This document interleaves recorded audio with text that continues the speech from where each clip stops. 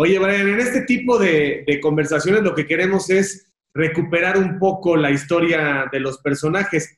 Eh, primero repasamos un poco el presente y proyectamos el futuro. Estoy seguro que tu mente eh, a esta edad y en este momento, tu mente, porque es algo muy uruguayo, muy sudamericano, tu mente no deja de estar, sé que tu momento es Santos y que te han tratado muy bien y que resurgiste, pero te ha puesto un tatuaje a que no dejas de pensar en Europa. Sí, sí, obviamente. Uno cuando arranca en el fútbol, este, lo primero creo que es debutar en primera división, después poder este, dar el salto al exterior, ¿no? Que a veces dar el salto al exterior para nosotros los uruguayos es, no sé, ir a Argentina a un equipo importante, Brasil, México, para poder ir a, este, Europa. Y creo que todo jugador sueña con eso. Y yo tengo el meta eso. Hoy, ahora mi, mi cabeza y mi pensamiento están en tratar de recuperarme lo mejor posible y después, bueno, ver qué es lo que va a pasar.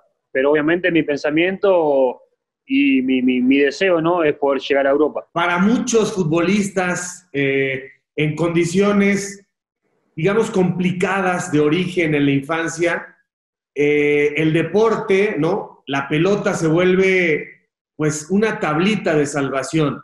¿Qué tanto le agradece al fútbol? ¿Qué tanto me puedes decir, puedes reflexionar, te ha dado el fútbol? No, como lo decís, creo que a veces, no solo el fútbol, no muchos muchos deportes, a veces para, para las personas creo que la, la, salvación, este, tanto como, como lo económico, como este, te puede salvar de muchas tentaciones, como a mí capaz que en lo personal me, me ha pasado eso. Yo me crié en un ambiente muy, muy complicado, delincuencia, droga, mismo tengo la experiencia de mi hermano, que mi hermano toda su vida ha estado en situación de droga, ha estado muchos años en una cárcel, y creo que el fútbol a mí fue lo que me hizo seguir una línea del fútbol que era lo que quería, y obviamente con el apoyo de, de mis familiares y los que han estado siempre rodeándome. ¿Tu hermano sigue en la cárcel en este momento?